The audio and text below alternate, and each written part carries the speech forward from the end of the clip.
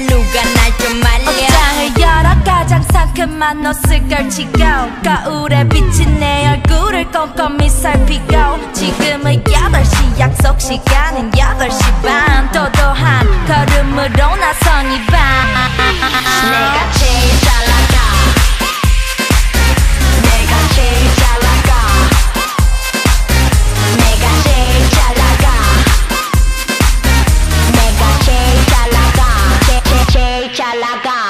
내가 봐도 내가 좀